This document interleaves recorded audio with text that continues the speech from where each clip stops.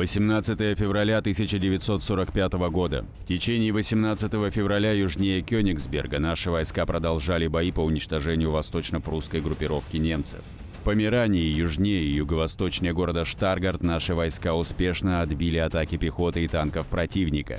Они ликвидировали еще одну окруженную группу противника, захватив при этом в плен около двух тысяч немецких солдат и офицеров.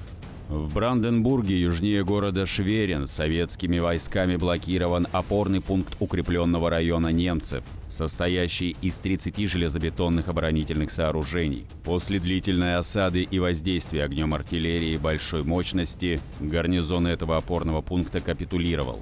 На северном берегу Дуная, восточнее Камарна, наши войска продолжали отбивать атаки крупных сил пехоты и танков противника. За 18 февраля на всех фронтах подбито и уничтожено 117 немецких танков. В воздушных боях и огнем зенитной артиллерии сбито 84 самолета противника.